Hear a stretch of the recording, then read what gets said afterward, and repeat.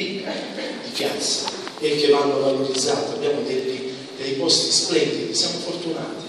Fortunati non è la parola giusta, sono le scelte politiche fatte in passato, quindi nulla arriva cavato dall'alto. Ora, eh, si possono fare anche tante cose con pochi soldi, semplicemente utilizzando la buona volontà delle persone. Torino prima ha parlato di associazioni, ha parlato di gruppi di, di lavoro, ha parlato di cultura.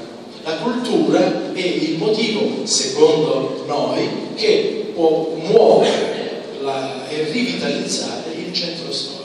Abbiamo dei contenitori inutilizzati, sono dei contenitori bellissimi, ristrutturati, per cui eh, sono stati spesi tanti soldi della comunità europea o quant'altro, sono stati spesi tanti soldi, altre strutture saranno sviluppate nel prossimo futuro e quindi piano piano il centro storico andrà ristrutturato quasi completamente. Ora queste strutture devono essere messe a disposizione dei cittadini organizzati in associazioni culturali, perché così possiamo cominciare a movimentare il centro storico e la nostra piazza. È una cosa facile, importante, perché vedere quei ristrutturati, bellissimi, su cui ci sono anche dei vincoli, su cui ci sono anche delle, eh, delle, mm, dei conflitti eh, di tipo economico con le aziende, va bene, vanno risolti,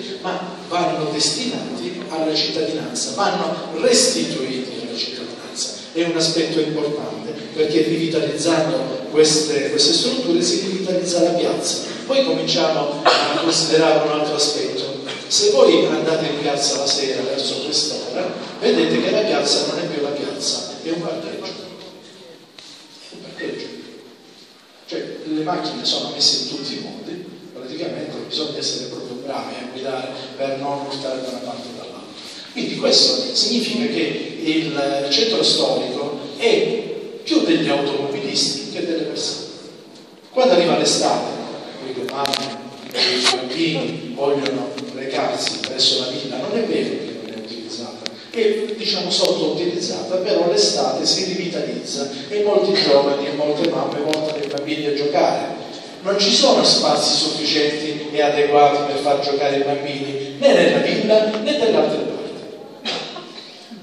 Non è demagogia. Io ho una figlia a cui per farla giocare qualche volta dovevo fare dei salti